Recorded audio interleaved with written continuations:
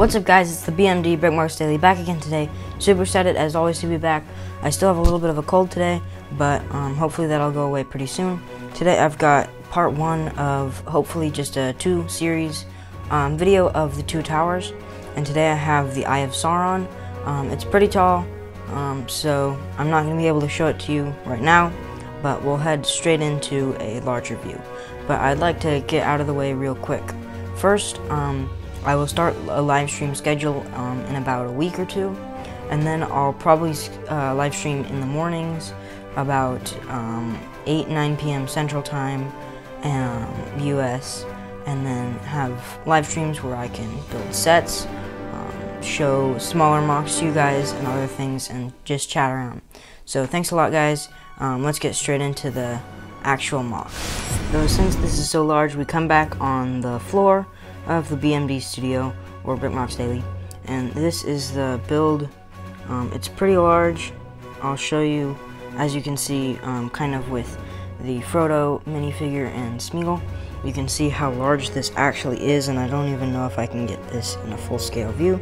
I've built another one of these before and I just really wanted to build another one. I had a little bit of a limited piece count when I was building that one so I just went all out and used as many black pieces as I could one of my favorite parts is using these um, larger castle pieces from about 15, 20 years ago.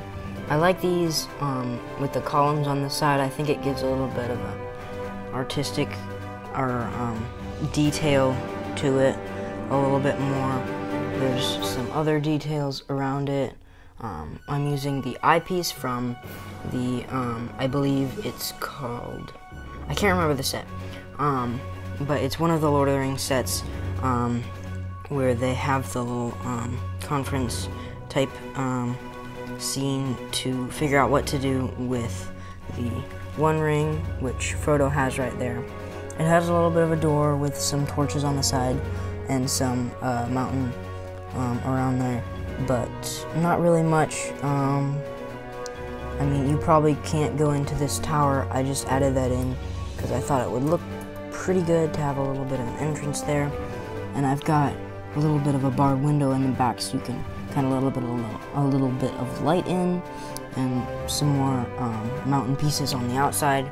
So that's this MOC um, in its full expanded view.